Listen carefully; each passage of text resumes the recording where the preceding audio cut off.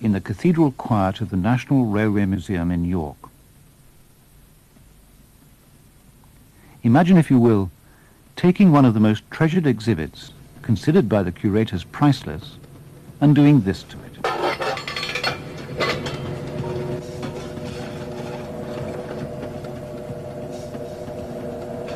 And you would be ginger about it too, firing up one of the greatest steam engines ever built.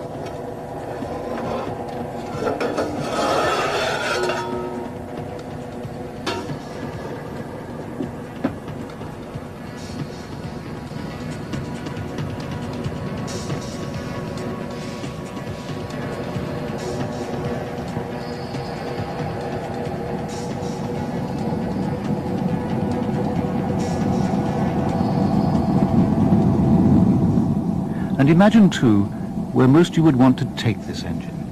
Not simply